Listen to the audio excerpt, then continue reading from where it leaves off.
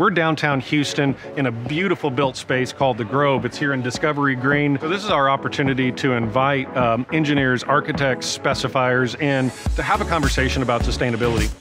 This event tonight is really a cool opportunity for the engineering community to come together and talk about what is a very important topic. You've got uh, architects, you've got designers, you've got specifiers, you've got manufacturers, um, all sitting around a table to discuss how sustainability interacts with their day-to-day and why it's important to them.